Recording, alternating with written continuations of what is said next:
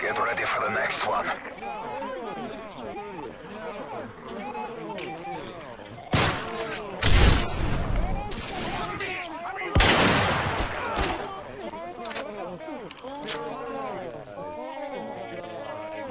Search and destroy.